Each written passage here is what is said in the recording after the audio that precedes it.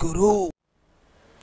Hi friends welcome to C Guru I'm Markandeya senior faculty in polity subject మనము last వీడియోలో ఈ సుప్రీంకోర్టుకు సంబంధించినటువంటి న్యాయమూర్తుల యొక్క అర్హతలు నియామకము పదవీ కాలము జీతభత్యాల గురించి మనం చెప్పుకోవడం జరిగింది ఫ్రెండ్స్ ఓకేనా సో ఇప్పుడు ఈ క్లాస్లో మనం సుప్రీంకోర్టుకు సంబంధించినటువంటి అధికారాల గురించి మనం మాట్లాడుకుందాం.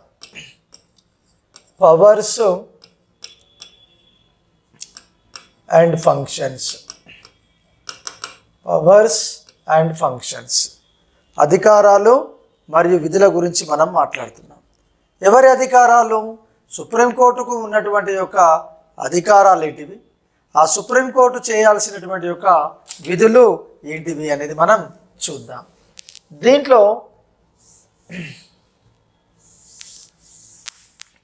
ఫస్ట్ది ఏంది? సహజ అధికారాలు అంటాము. సహజ అధికారాలు. ఈ సహజ అధికారాలను మనము సహజ అధికారాలను అసలైన అధికారాలు అని అంటాము. ఈ వర్డ్ యూజ్ చేసిండమ్మా. అసలైన అధికారాలు. వాస్తవమైన అధికారాలు నిజమైన అధికారాలు నిజమైన అధికారాలు. ఈ పేర్లతోటి మనం పిలుస్తాము. జనరల్గా అయితే మనము ఏమని పిలుస్తామో? ఇంగ్లీష్లో ఒరిజినల్ జ్యురిడిక్షన్ అని పిలుస్తాం ఏమంటాము? ఒరిజినల్ జ్యురిడిక్షన్ అని అంటాము. నూట ముప్పై ఒకటవ నిబంధన ఒరిజినల్ జ్యురిడిక్షన్ గురించి వివరిస్తాయి. ఏ నిబంధన అమ్మా నూట ముప్పై ఒకటవ నిబంధన. సుప్రీంకోర్టు యొక్క సహజ అధికారాల గురించి వివరిస్తాయి.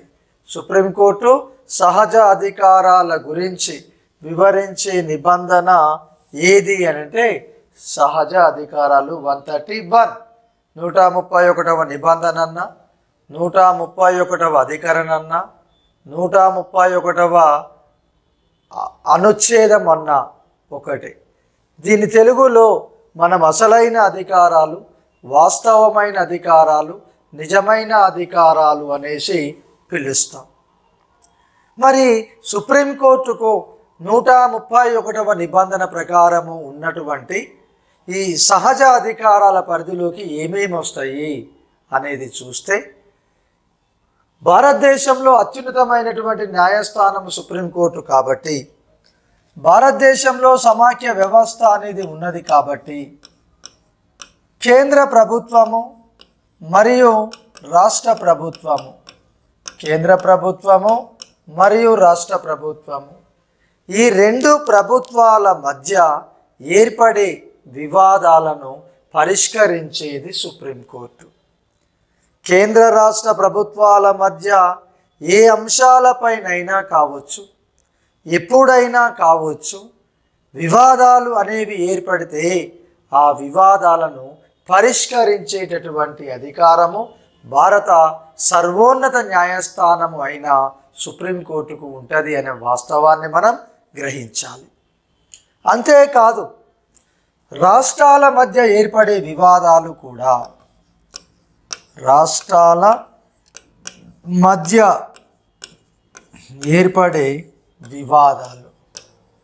రాష్ట్రాల మధ్య ఏర్పడే వివాదాలను కూడా పరిష్కరించేది ఎవరు అంటే సుప్రీంకోర్టు భారతదేశంలో ఇరవై ఎనిమిది రాష్ట్రాలు ఉన్నాయి రాష్ట్రాల మధ్య వివిధ అంశాలపైన ఏదో ఒక సందర్భంలో అభిప్రాయ భేదాలు రావచ్చు.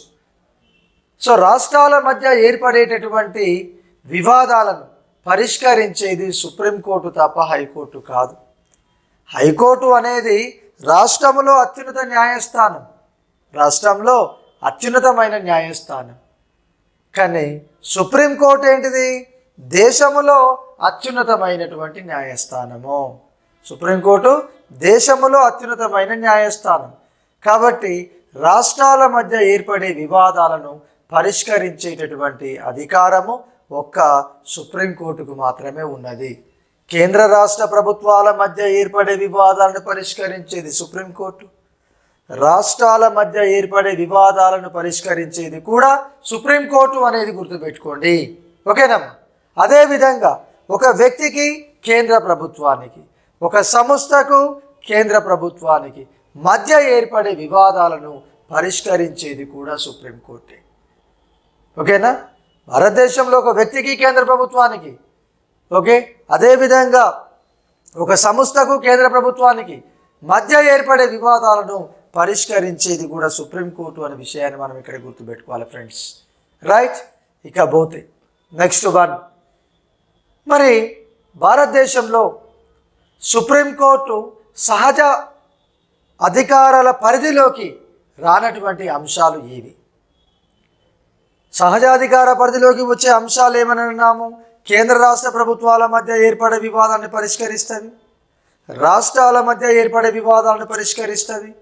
ఒక వ్యక్తికి కేంద్ర ప్రభుత్వానికి ఒక సంస్థకు కేంద్ర ప్రభుత్వానికి మధ్య ఏర్పడే వివాదాలను పరిష్కరించేది సుప్రీంకోర్టు అనేది గుర్తుపెట్టుకోండి ఫ్రెండ్స్.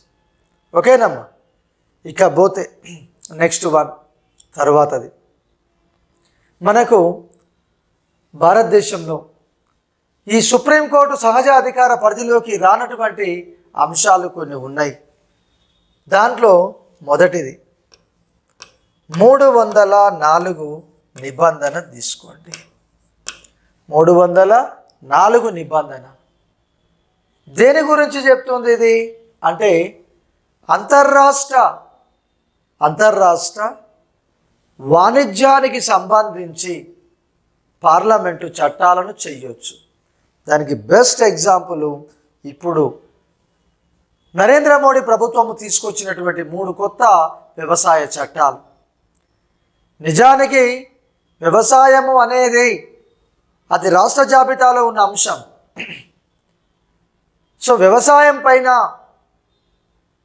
చట్టాన్ని చేసే అధికారము రాష్ట్ర ప్రభుత్వానికి ఉంది శాసనసభకు ఉంటుంది.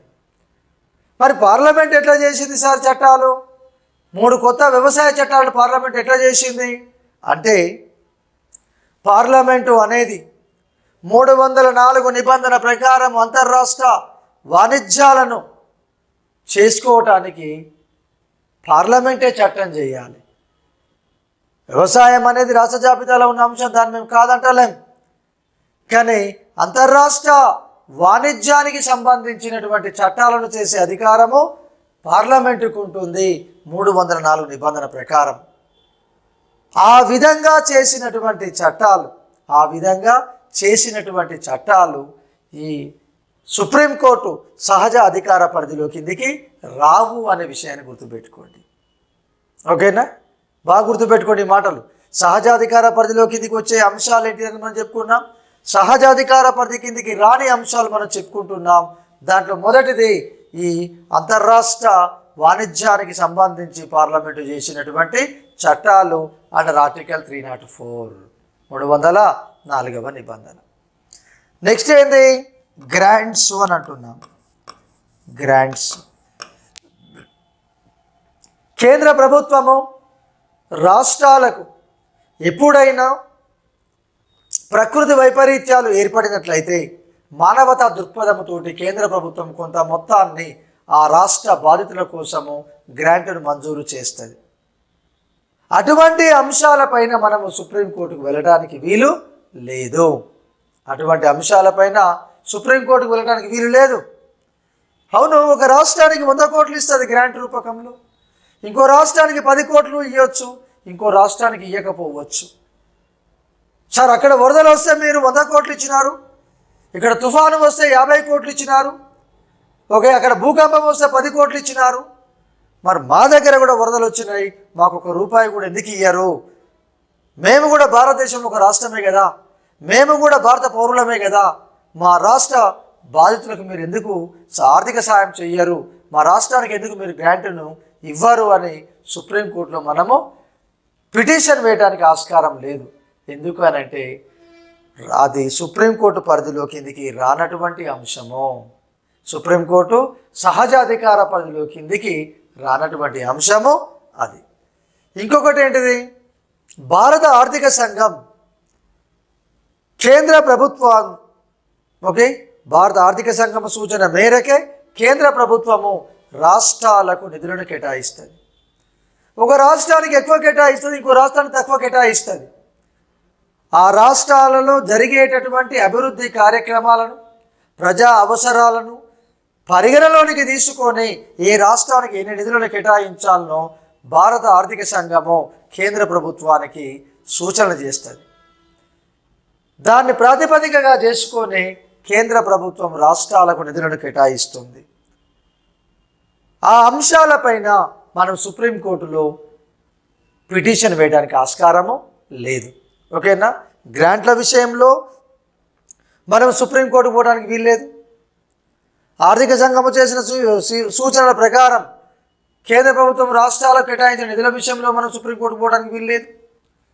అంతర్రాష్ట్ర వాణిజ్యాలు చేసుకోవడానికి పార్లమెంటు చేసినటువంటి చట్టాల పైన సుప్రీంకోర్టు వెల సుప్రీంకోర్టు వెళ్ళడానికి వీలు లేదు అవి సహజ అధికార పరిధిలోకి దిగి రావు. అంతేకాదు అంతర్రాష్ట్ర నదీ జల వివాదాలు. అంతర్రాష్ట్ర. అంతర్రాష్ట్ర. నదీ జల. నదీ జల వివాదాలు. అంతర్రాష్ట్ర నదీ జల వివాదాలను పరిష్కరించడానికి ఏం చేస్తుంది? ట్రిబ్యునల్స్ను ఏర్పాటు చేస్తుంది. రెండు వందల అరవై రెండవ నిబంధన ప్రకారము పార్లమెంటు అంతర్రాష్ట్ర నదీ జల వివాదాలను పరిష్కరించడానికి కోసము ప్రత్యేకంగా ట్రిబ్యునల్స్ని ఏర్పాటు చేస్తుంది. Bachawat water tribunal Narmada water tribunal okay Kaveri water tribunal Brijesh Kumar water tribunal అనే వివిధ రకాలైన ట్రిబ్యునల్స్ని ఏర్పాటు చేస్తుంది. ఆ ట్రిబ్యునల్స్ ఇచ్చినటువంటి ఓకే నివేదికల ఆధారంగా పార్లమెంట్ కొన్ని చట్టాలు చేయొచ్చు. అటువంటి అంశాలపైన మనం సుప్రీంకోర్టుకు వెళ్ళటానికి వీలు లేదు. సహజ అధికార పరిధిలో కిందికి ఆ అంశాలు రావు అనే విషయాన్ని మనము గుర్తుపెట్టుకోవాలి ఫ్రెండ్స్. మరొక అంశం ఏంటి అంటే కేంద్ర రాష్ట్ర ప్రభుత్వాల మధ్య కొన్ని ఆర్థిక లావాదేవీలు అనేది జరుగుతాయి. కేంద్ర రాష్ట్ర ప్రభుత్వాల మధ్య ఆర్థిక లావాదేవీలు అనేవి జరుగుతాయి. ఆర్థిక లావాదేవీలు జరుగుతాయి. ఎవరి మధ్యన? కేంద్ర రాష్ట్ర ప్రభుత్వాల మధ్య. ఈ కేంద్ర రాష్ట్ర ప్రభుత్వాల మధ్య జరిగినటువంటి ఆర్థిక లావాదేవీల ఒప్పందాలు ఏవైతే ఉంటాయో వాటి గురించి సుప్రీంకోర్టు విచారణ చెయ్యరాదు. సహజ అధికార పరిధిలో కిందికి అవి రావు. క్లియర్ అమ్మా?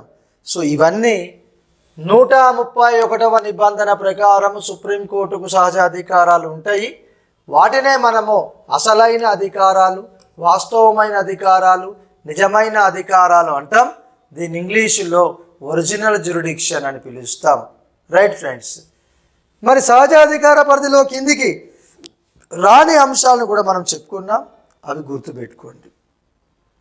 ఇక రెండవది అప్పీళ్ళ విచారణ అధికారం. అప్పీళ్ళ విచారణ అధికారం. దీని ఇంగ్లీష్లో ఏమంటామో అపిలియేట్ జ్యురిడిక్షన్ అని పిలుస్తాం. ఏమంటామో అపిలియేట్ జ్యురిడిక్షన్ అని పిలుస్తాం. అప్పీల విచారణ అధికారాన్ని ఇంగ్లీషులో అపిలియేట్ జ్యురిడిక్షన్ అని పిలుస్తాం. రైట్? దీని గురించి వివరించే నిబంధన దీని గురించి వివరించే నిబంధన నూట ముప్పై రెండు వన్ థర్టీ టూ. నూట ముప్పై ఒకటవ నిబంధన ఏమో సహజాధికారాల గురించి వివరిస్తుంది. నూట ముప్పై రెండవ నిబంధన ఏమో అప్పీళ్ళ విచారణ అధికారం గురించి వివరిస్తుంది. మరి సుప్రీంకోర్టుకు అప్పీళ్ళ విచారణ అధికారాలు అంటే ఏంటివి అనేది మనకు తెలియాలి ఇక్కడ హైకోర్టు ఇచ్చినటువంటి తీర్పు హైకోర్టు తీర్పు నచ్చని వాళ్ళు ఉంటారు. హైకోర్టు ఇచ్చిన తీర్పు ఒక వర్గానికి నచ్చుతుంది. ఇంకో వర్గానికి నచ్చదు. ఓకేనమ్మా? కాబట్టి ఎవరికైతే హైకోర్టు తీర్పు నచ్చదో వాళ్ళు ఏం చేస్తారు? హైకోర్టు అనుమతితోటి హైకోర్టు అనుమతితోటి హైకోర్టు అనుమతితోటి సుప్రీంకోర్టులో అప్పీల్ చేసుకోవాలి. ఆ విధంగా సుప్రీంకోర్టులో మనం అప్పీలు చేసుకుంటే సుప్రీంకోర్టు అప్పీళ్ళను స్వీకరిస్తుంది విచారిస్తుంది తీర్పునిస్తుంది.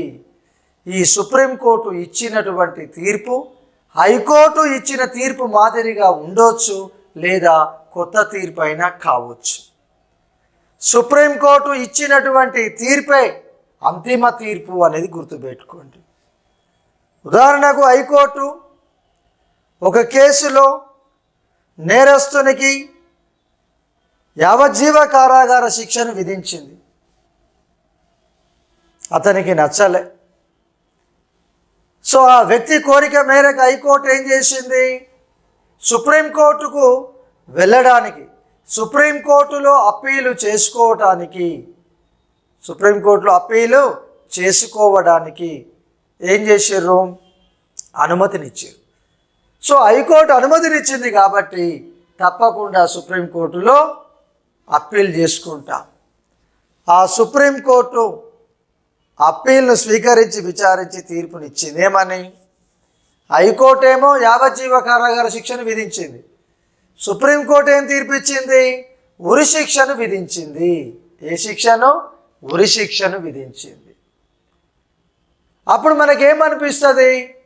హైకోర్టు విధించినటువంటి శిక్షని మేము పాటిస్తాం గౌరవిస్తాం అని అనవచ్చు కానీ ఎట్టి పరిస్థితిలో కూడా హైకోర్టు తీర్పు అమల్లోకి రాదు. సుప్రీంకోర్టు ఇచ్చినటువంటి తీర్పే అమల్లోనికి వస్తుంది. అది ఉరి శిక్ష కావచ్చు లేకపోతే ఒకరోజు జైలు శిక్ష కావచ్చు. The supreme court judgement is final in India మరొక అంశం. మనం హైకోర్టు అనుమతితోటి సుప్రీంకోర్టులో పిటిషన్ వేయాలి అప్పీల్ చేసుకోవాలని అంటున్నాం. మంచిగా ఉంది గుడ్. కానీ ప్రాథమిక హక్కులను కాపాడుకునే విషయంలో ప్రాథమిక హక్కులను కాపాడుకునే విషయంలో ప్రాథమిక హక్కులను కాపాడుకునే విషయంలో దిగువ న్యాయస్థానము అనుమతి లేకుండా నేరుగా మనం హైకోర్టుకు వెళ్ళి పిటిషన్ వేయొచ్చు సుప్రీంకోర్టుకు వెళ్ళి కూడా పిటిషన్ వేయొచ్చు. రైట్ అమ్మ. ప్రాథమిక హక్కులను కాపాడుకునే విషయంలో మనకు ఇటువంటి అవకాశం ఉంది. అంటే without permission of subordinate courts we go and file case against one's person in supreme court directly కానీ మిగతా విషయాల్లో మాత్రం మనం సుప్రీంకోర్టుకు వెళ్ళాలి అని అంటే హైకోర్టు యొక్క అనుమతి తప్పనిసరిగా ఉండాలి అనేది గుర్తుపెట్టుకోండి అమ్మ. ఓకేనా? సో ఇది మనం అప్పీళ్ళ విచారణ పరిధిలో ఉన్నటువంటి ఒక అంశంగా మనం పరిగణిస్తాం చూస్తాము అనేది మనం గుర్తుపెట్టుకుంటే చాలు. సో ఆ విధంగా మనకు ఈ అప్పీళ్ళను విచారించే అధికారం సుప్రీంకోర్టుకు ఉంది. నూట ముప్పై రెండవ నిబంధన ప్రకారం అనేది మనం చూస్తాం. దీని తర్వాత మనకు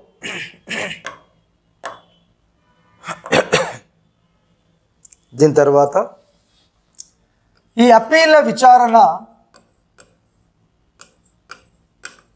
అప్పీళ్ళ విచారణ. నాలుగు రకాలుగా మనం చెప్పుకుంటాం. ఎన్ని రకాలు? నాలుగు. ఒకటేమో రాజ్యాంగపరమైన. రెండవదేమో సివిల్ కేసు విషయాలలో. మూడవదేమో క్రిమినల్ కేసు విషయాలలో. నాలుగవదేమో ప్రత్యేకమైన. ఓకే? ప్రత్యేకమైన కేసులు స్పెషల్ లీవ్ పిటిషన్స్ అని అంటాము. రాజ్యాంగపరమైనటువంటి అప్పీళ్ళ విచారణ ఏదేంటంటే మనం ఆల్రెడీ ఇంతకుముందు చెప్పుకున్నాము. ఏదైనా దిగువ న్యాయస్థానం ఇచ్చినటువంటి తీర్పు నచ్చకపోతే హైకోర్టు అనుమతితోటి సుప్రీంకోర్టులో అప్పీల్ చేసుకుంటామని చెప్పినాం. ఉదాహరణకు వైఎస్ రాజశేఖర రెడ్డి ప్రభుత్వం ముస్లింలకు నాలుగు శాతము రిజర్వేషన్స్ను కల్పించింది. ఆంధ్రప్రదేశ్ హైకోర్టు దాన్ని వ్యతిరేకించింది తప్పుపట్టింది చివరికి సుప్రీంకోర్టుకు వెళ్ళింది. సుప్రీంకోర్టు ఇది కరెక్టే అనేసి తీర్పునిచ్చింది. ఇది రాజ్యాంగపరమైనటువంటి అప్పీళ్ళు అనేసి గుర్తుపెట్టుకోండి. తర్వాత సివిల్ కేసులు అని అంటున్నాం. అంటే ఒక ఆస్తికి సంబంధించినటువంటి విషయంలో వివాదము అనేది ఏర్పడితే అది సివిల్ కేసు అని అంటాం. కనీసము ఆ ఆస్తి యొక్క విలువ ఇరవై వేలకు పైగా ఉండాలి. ఆస్తి యొక్క విలువ మినిమం ఇరవై వేల కంటే ఎక్కువగా ఉంటే అప్పుడు హైకోర్టు అనుమతిని ఇస్తుంది సుప్రీంకోర్టులో అప్పీలు చేసుకోవటానికి. దిగువ కోర్టు అనుమతిని ఇవ్వకపోతే మనము ఎగువ కోర్టుకు వెళ్ళి అప్పీలు చేసుకోవడానికి అవకాశము ఉండదు అనేది గుర్తుపెట్టుకోండి. తర్వాత క్రిమినల్ కేసు విషయాలలో మనము సుప్రీంకోర్టులో అప్పీలు చేసుకోవచ్చు. అంటే దిగువ న్యాయస్థానాల యొక్క అనుమతి లేకుండా కూడా చేసుకోవచ్చు. ఎప్పుడు? జిల్లా సెషన్స్ కోర్టులో ఒక క్రిమినల్ కేసు విచారణ జరుగుతూ ఉన్నప్పుడు హైకోర్టు బలవంతంగా ఆ కేసుని తన వద్దకు తెప్పించుకొని ఉరిశిక్ష కానీ లేదా యావజ్జీవ కారాగార శిక్షను ఒక నేరస్తునికి విధిస్తే ఈ అంశము పైన మనం సుప్రీంకోర్టులో అప్పీలు చేసుకోవచ్చును without permission of subordinate court right అమ్మా? అవి క్రిమినల్ కేసు పరిధిలో కిందికి వస్తాయి. తర్వాత ప్రత్యేకమైనటువంటి పిటిషన్స్ అని అంటాం కేసులు. మరి ఏ సందర్భంలో మనం సుప్రీంకోర్టులో అప్పీల్ చేసుకోవచ్చు అని అంటే దిగువ కోర్టు దిగువ కోర్టు ఏదైనా ఒక ముఖ్యమైనటువంటి ఒక అంశాన్ని మర్చిపోయి నేరస్తునికి ఉరిశిక్షను యావజ్జీవ కారాగార శిక్షను విధించినప్పుడు నేరుగా మనం సుప్రీంకోర్టులో అప్పీలు చేసుకోవచ్చును. అంటే ఏ కారణ చేతనైనా దిగువకోర్టు అనుమతిని ఇవ్వకపోతే మనమేం చేస్తాము? సుప్రీంకోర్టుకు వెళ్ళి మరొకసారి ఈ తీర్పును మీరు పరిశీలించండి మాకు న్యాయం చేయండి కేసు విచారణ చేసి అనేసి అని మనం వాళ్ళని కోరవచ్చు అప్పీల్ చేసుకోవచ్చు. సో ఈ రకంగా నాలుగు రకాలుగా ఉంటాయి. ఏంటివి? అప్లియేట్ జ్యురిడిక్షను అనేసి ఒకటి రాజ్యాంగపరమైనవి రెండు సివిల్ పరమైనవి మూడవదేమో క్రిమినల్ పరమైనవి నాలుగవదేమో ఈ ప్రత్యేకమైనవిగా మనం చూస్తాము. రైటా? ఇకపోతే. దీని తర్వాత మనకేముందనంటే కోర్ట్ ఆఫ్ రికార్డు అనేసి అని పిలుస్తాం. ఏంటిది అది కోర్ట్ ఆఫ్ రికార్డు. దీన్నే మనం ఏమంటాము రికార్డుల భద్రత అని పిలుస్తాము. రికార్డుల భద్రత. కోర్ట్ ఆఫ్ రికార్డు అని పిలుస్తాం. Court of record. నూట ఇరవై తొమ్మిదవ నిబంధన. నూట ఇరవై తొమ్మిదవ నిబంధన సుప్రీంకోర్టు కోర్ట్ ఆఫ్ రికార్డుగా వ్యవహరిస్తుంది అని చెప్తుంది. మరి కోర్ట్ ఆఫ్ రికార్డు అంటే ఏంది? సుప్రీంకోర్టు వివిధ రకాలైనటువంటి కేసులను విచారించి తీర్పులు ఇస్తుంది ఒకటి సివిల్ కేసులు రెండవదేమో క్రిమినల్ కేసులు క్రిమినల్ కేసులు. మూడవది ఏంటిది అని అంటే రాజ్యాంగపరమైన కేసులు. రాజ్యాంగ పరమైన కేసులు. ఓకేనా? సివిల్ కేసులు క్రిమినల్ కేసులు రాజ్యాంగపరమైనటువంటి కేసులుగా మూడు రకాలుగా ఉంటాయి. సుప్రీంకోర్టు ఇటువంటి కేసులను విచారించి తీర్పులను ఇస్తుంది. తీర్పులను ఇస్తుంది. ఏ కేసులను విచారించి? సివిల్ కేసులను విచారిస్తుంది. క్రిమినల్ కేసులను విచారిస్తుంది. రాజ్యాంగపరమైన కేసులను విచారించి తీర్పులను ఇస్తుంది. ఇచ్చినటువంటి ప్రతి తీర్పును రికార్డు చేసి భద్రపరుచుకుంటుంది సుప్రీంకోర్టు. ఎందుకు భద్రపరుచుకోవాలి? అంటే భవిష్యత్తులో ఈ రికార్డు అనేది సుప్రీంకోర్టుకు మరియు దిగువ న్యాయస్థానాలకు కూడా ఏదో ఒక సమయములో ఎప్పుడో ఒకసారి తప్పకుండా ఉపయోగపడతాయి. తప్పకుండా ఉపయోగపడతాయి. రైట్ అమ్మ? అదే రికార్డు అనేది లేకపోతే కొన్ని కేసులలో న్యాయమూర్తులు తీర్పులను ఇవ్వడానికి ఇబ్బంది పడాల్సి వస్తుంది. కాబట్టి సుప్రీంకోర్టు ఇచ్చినటువంటి ప్రతి తీర్పును రికార్డు చేస్తూ ఉంది. ఆ రికార్డులను జాగ్రత్తగా భద్రపరుస్తుంది. ఇవి ఎందుకు అవసరము అని అంటే భవిష్యత్తులో కేసులపైన విచారణ జరిపి తీర్పులను ఇవ్వటానికి తప్పకుండా ఇవి దోహదపడతాయి. అది సుప్రీంకోర్టు దోహదపడవచ్చు హైకోర్టులకు కూడా ఉపయోగపడతాయి అనేది మనం గుర్తుపెట్టుకోవాలి ఫ్రెండ్స్. మనము ఈ సుప్రీంకోర్టు అధికారాలను మరొకటి ఏంటిది అని అంటే రిట్స్ను జారీ చేయడం. రిట్స్ను జారీ చేయడం. ఆల్రెడీ మనం గతంలో చెప్పుకున్నాం భారతదేశంలో రిట్స్ను జారీ చేసే అధికారము ఎంత? ఎవరికి ఉందని చెప్పినాం? ఇద్దరికి ఉంటుంది. ఒకటెవరమ్మా సుప్రీంకోర్టు ఒకటి సుప్రీంకోర్టు రెండవది ఎవరు? హైకోర్టు. రెండవది హైకోర్టు. ఓకే?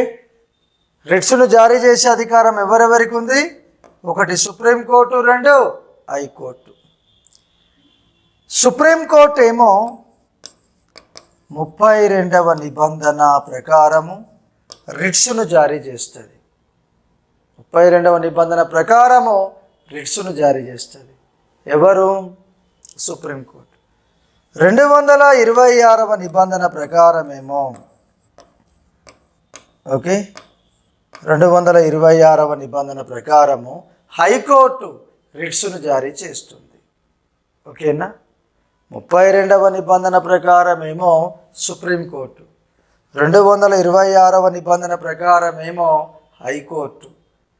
రిట్స్ దీన్నే మనము తెలుగులో అధిలేఖలు అని పిలుస్తాము ఏమంటాము? అధిలేఖలు అని పిలుస్తాము. సుప్రీంకోర్టు మనము ప్రాథమిక హక్కులను రక్షించటానికి రిట్స్ను జారీ చేస్తుంది అని చెప్తున్నాము ఎన్ని రకాల రిట్స్ను జారీ చేస్తావు నువ్వు? అంటే ఐదు రకాలు. ఒకటేమో habeas corpus. Habeas corpus. రెండవదేమో mandamus. రెండవది మాండమస్. మూడవదేమో షేర్షియో రారి. Certiorari. నాలుగవదేమో కోవారెంటో. ఐదవదేమో ప్రొహిబిషన్. ఐదవది ప్రొహిబిషన్. ముప్పై రెండవ నిబంధన ప్రకారము సుప్రీంకోర్టు ఐదు రిట్స్ లేదా అధిలేఖలను జారీ చేస్తుంది. ఫస్ట్ది ఏంటిదమ్మా ఎబిఎస్ కార్పస్. రెండవది మాండమస్. మూడవది షేర్షియోరారి. నాలుగవది కోవారెంటు. ఐదవది ప్రొహిబిషన్.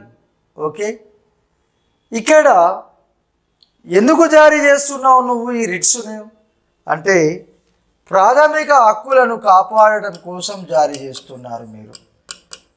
ఓకేనా? మనం ఆల్రెడీ ప్రాథమిక హక్కుల దగ్గర చెప్పుకున్నాం. ప్రాథమిక హక్కులకు న్యాయస్థానాల రక్షణ ఉంటుంది అని చెప్పినాం.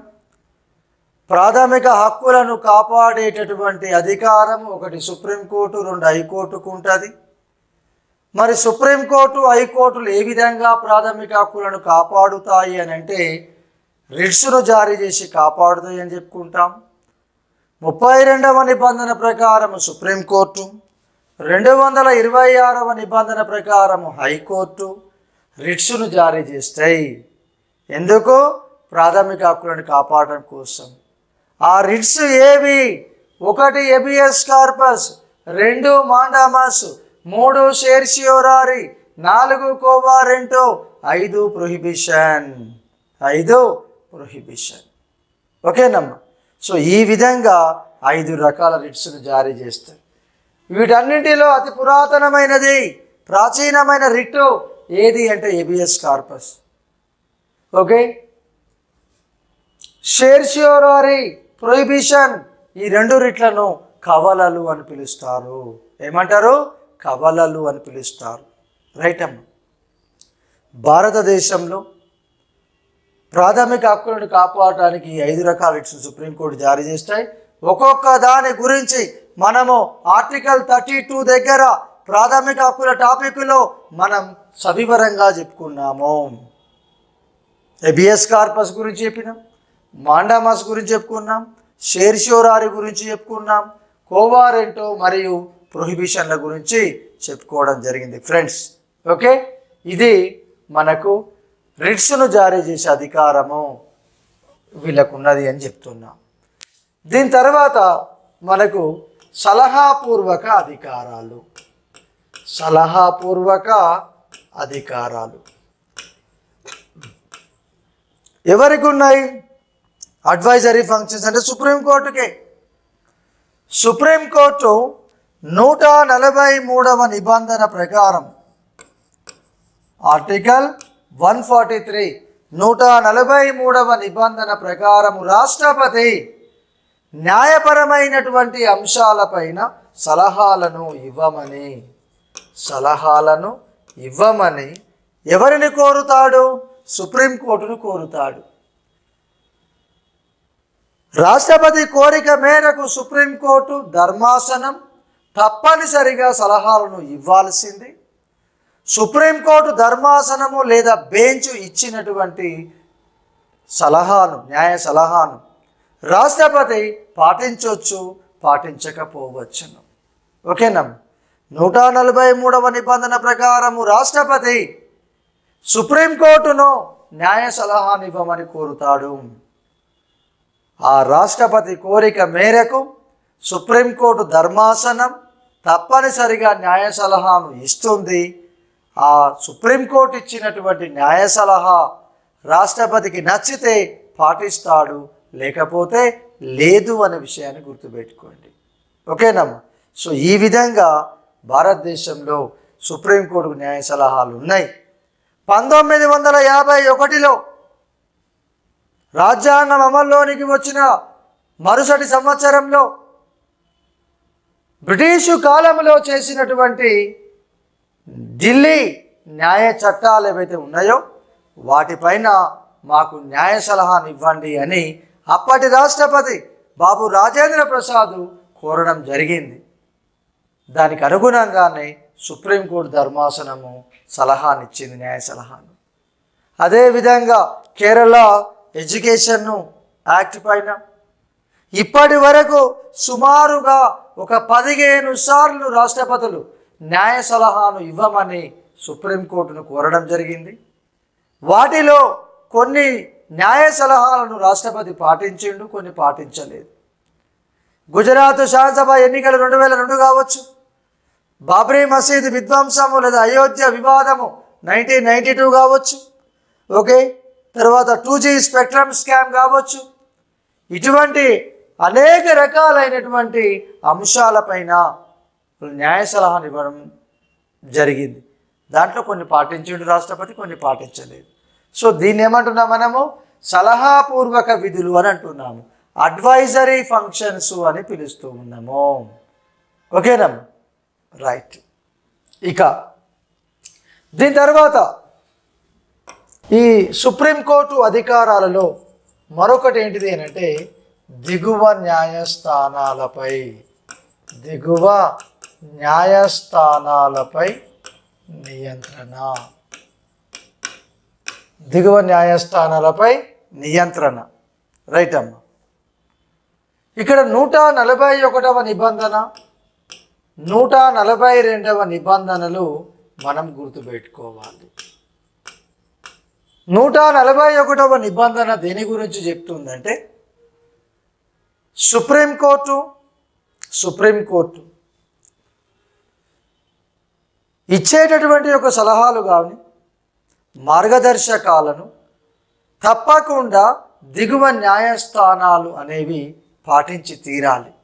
నూట నలభై ఒకటవ నిబంధన ప్రకారము సుప్రీంకోర్టు దిగువ న్యాయస్థానాలకు ఇచ్చేటటువంటి యొక్క సలహాలను అదేవిధంగా సూచనలను మార్గదర్శకాలను తప్పకుండా పాటించాలి. ఎందుకు? సర్వోన్నతమైన న్యాయస్థానం. వాళ్ళు ఇచ్చినటువంటి యొక్క తీర్పు వాళ్ళు ఇచ్చినటువంటి యొక్క సలహాలు దేశంలో ఉన్నటువంటి దిగువ న్యాయస్థానాలు అన్నీ కూడా పాటించి తీరాలి. అది మ్యాండేటరీ అది నిర్బంధము. ఐచ్ఛికం కాదు నిర్బంధము అనేది గుర్తుపెట్టుకోండి ఫ్రెండ్స్ రైట్ అమ్మ? అదేవిధంగా మనకు నూట నలభై రెండవ నిబంధన. ఈ నిబంధన ప్రకారము సుప్రీంకోర్టు ఏం చేస్తుంది? దిగువ న్యాయస్థానాలకు ఆదేశాలను జారీ చేస్తుంది. ఇంతకుముందుకు ఏమన్నాము నూట నలభై ఒకటవ నిబంధన ప్రకారం సుప్రీంకోర్టు దిగువ న్యాయస్థానాలకు సలహాలు సూచనలను మార్గదర్శకాలను జారీ చేస్తుంది అని చెప్పిన. పాటించాలి నన్ను. ఇక్కడ నూట నలభై రెండవ నిబంధన ఏం చెప్తుంది అని అంటే సుప్రీంకోర్టు దిగువ న్యాయస్థానాలకు కొన్ని ఆదేశాలను జారీ చేస్తుంది. ఆ సుప్రీంకోర్టు జారీ చేసేటటువంటి ఆదేశాలను ఖచ్చితంగా దిగువ న్యాయస్థానాలు పాటించి తీరాలి అనే విషయాన్ని మనం ఇక్కడ గుర్తుపెట్టుకోవాలి ఫ్రెండ్స్. ఓకేనా? ఇక పోతే నెక్స్ట్ది. వీటితో పాటు ఈ దిగువ న్యాయస్థానాలలో కేసుల విచారణ ఏ విధంగా జరుగుతుంది? ఏమైనా పురోగతి ఉందా లేదా? వీటన్నిటిని కూడా ఎప్పటికప్పుడు నియంత్రణ పర్యవేక్షణ చేసే అధికారం సుప్రీంకోర్టుకు ఉంది దేశంలో ఇరవై ఐదు హైకోర్టులు ఉన్నాయి ఈ ఇరవై ఐదు హైకోర్టుల యొక్క పనితీరు ఏ విధంగా జరుగుతుంది అనేది ఎప్పటికప్పుడు సుప్రీంకోర్టు సూపర్వైజ్ చేయాలి. సో నూట నలభై ఒకటవ నిబంధన నూట నలభై రెండవ నిబంధన. నూట నలభై ఒకటవ నిబంధన ప్రకారం సుప్రీంకోర్టు దిగువ న్యాయస్థానాలకు మార్గదర్శకాలను సూచనలు చేస్తుంది. నూట నలభై రెండవ నిబంధన ప్రకారం సుప్రీంకోర్టు దిగువ న్యాయస్థానాలకు ఆదేశాలను జారీ చేస్తుంది. ఓకేనమ్మా. సో ఈ విధంగా మనం గుర్తుపెట్టుకోవాలి. రైట్? సో ఇవి సుప్రీంకోర్టుకు ఉన్నటువంటి యొక్క అధికారాలు. సహజ అధికారాలు అప్పీల విచారణ అధికారము ఓకే? వాటితో పాటు మనకు రిట్సు జారీ సలహాపూర్వక అధికారాలు ఓకే? దిగువ న్యాయస్థానాలపై నియంత్రణ. ఇంకొకటి కూడా మనం చూడవచ్చు న్యాయ సమీక్ష అని అంటాము. జుడిషియల్ రివ్యూ మన రాజ్యాంగ నిర్మాతలు న్యాయ సమీక్ష విధానాన్ని అమెరికా నుండి స్వీకరించారు. కానీ నిజానికి రాజ్యాంగంలో ఎక్కడ కూడా న్యాయ సమీక్షకు సంబంధించిన ప్రత్యేకమైనటువంటి ప్రస్తావన అనేది లేదు. ఆర్టికల్ అనేది లేదు. పదమూడు క్లాస్ రెండు నిబంధనలో ప్రాథమిక హక్కులలో ఓకే మనం చెప్పుకున్నాం. ప్రాథమిక హక్కులకు వ్యతిరేకంగా శాసనశాఖ శాసనాలను చెయ్యరాదు అని చెప్పుకున్నాం. ఒకవేళ ప్రాథమిక హక్కులకు వ్యతిరేకంగా చట్టాలను చేస్తే అవి చెల్లవు అని కూడా చెప్పుకున్నాం. ఇక్కడ న్యాయ సమీక్ష గురించి క్లియర్గా వినండి. మన రాజ్యాంగ లక్షణాల దగ్గర కూడా చెప్పుకుంటాం. న్యాయ సమీక్ష అంటే ప్రపంచంలో మొట్టమొదటిసారిగా న్యాయ సమీక్షను ఉపయోగించినది ఎవరు అంటే అమెరికా సుప్రీంకోర్టు ప్రధాన న్యాయమూర్తి జస్టిస్ మార్షల్. ఎవరమ్మా? Justice Marshall. ఈ జస్టిస్ మార్షల్ ఈయన Marbury versus Madison. Marbury versus Madison. పద్దెనిమిది వందల మూడు కేసులో. మార్బరీ వర్సెస్ మాడిసన్ పద్దెనిమిది వందల మూడు కేసులో న్యాయ సమీక్షను మొట్టమొదటిసారిగా ఉపయోగించారు. ఓకేనా ఏ సంవత్సరం అది? Eighteen naught three. ప్రధాన న్యాయమూర్తి ఎవరు? తీర్పిచ్చింది ఎవరు? మార్షల్. ఓకే. మరి భారతదేశంలో న్యాయ సమీక్ష ఎవరికి ఉంది అంటే ఇద్దరికి ఉందమ్మా. ఒకటేమో సుప్రీంకోర్టు రెండవదేమో హైకోర్టు. ఒకటి సుప్రీంకోర్టు రెండవది హైకోర్టు. రైటా? సుప్రీంకోర్టు హైకోర్టులకు న్యాయ సమీక్ష అధికారం ఉంది. భారతదేశంలో మొట్టమొదటిసారిగా సుప్రీంకోర్టు ప్రధాన న్యాయమూర్తి హెచ్జే కానియా శంకరి ప్రసాద్. ఏం కేసమ్మా? శంకరి ప్రసాద్. వర్సెస్ కేంద్ర ప్రభుత్వం. వర్సెస్ కేంద్ర ప్రభుత్వం. పంతొమ్మిది వందల యాభై ఒకటి కేసులో న్యాయ సమీక్షను ఉపయోగించారు. మరి న్యాయ సమీక్ష అంటే ఏంది? రాజ్యాంగానికి వ్యతిరేకంగా శాసనశాఖ శాసనాలను చేసిన కార్యనిర్వాహక శాఖ వాటిని అమలుపరిచిన అవి చెల్లనేరవని చెప్పే అధికారం న్యాయశాఖకు ఉంటుంది. దీనినే న్యాయ సమీక్ష అని పిలుస్తాం. దీనినే న్యాయ సమీక్ష అని పిలుస్తున్నాం. రైట్ అమ్మా.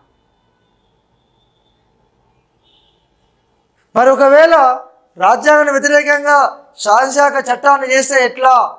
అంటే అవి చెల్లవు కొట్టేస్తుంది. రాజ్యాంగానికి అనుకూలంగా శాసనశాఖ చట్టాలను చేయాలి. రాజ్యాంగానికి వే అనుకూలంగా కార్మిక శాఖ చట్టాలను అమలుపరచాలి. అంతేగాని రాజ్యాంగానికి వ్యతిరేకంగా ఎట్టి పరిస్థితుల్లో కూడా శాసనాలను చెయ్యొద్దు అమలుపరచొద్దు.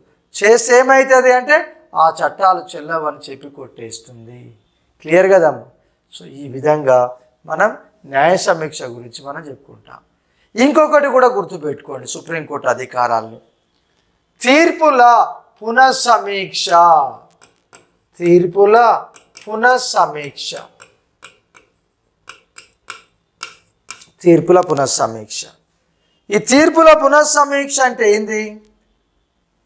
నూట ముప్పై ఏడవ నిబంధన తీర్పుల పునఃసమీక్ష గురించి వివరిస్తుంది. సుప్రీంకోర్టు గతంలో తాను ఇచ్చినటువంటి తీర్పుని సమీక్షించుకొని కొత్త తీర్పును ఇచ్చే అధికారాన్ని కలిగి ఉంటుంది. గతంలో నువ్వు తీర్పు ఇచ్చినావు మళ్ళీ ఏం చేస్తున్నావు? ఆ తీర్పుని సవరించుకొని కొత్త తీర్పుని ఇస్తున్నావు. ఇక్కడ కూడా ఉదాహరణకు ప్రవేశిక గురించి చూద్దాం. ప్రవేశిక గురించి సుప్రీంకోర్టు బెరిబరీ కేసు పంతొమ్మిది వందల అరవైలో ఏం తీర్పిచ్చింది?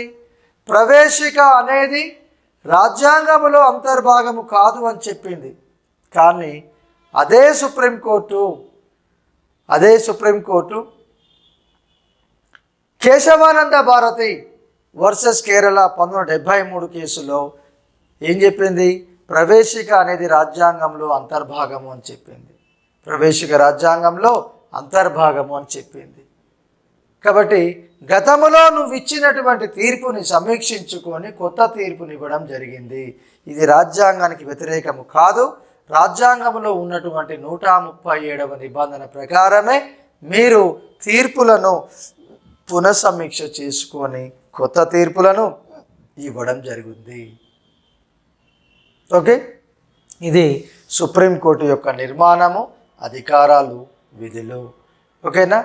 మనం నెక్స్ట్ ఏం చేస్తామనంటే ఈ సుప్రీంకోర్టు యొక్క ప్రధాన న్యాయమూర్తులు ఎవరెవరు ఏ కాలంలో పనిచేసినారు అనేది మనం ఇప్పుడు చూద్దాము. ఎందుకంటే ఆ వేలో కూడా క్వశ్చన్స్ వస్తున్నాయి.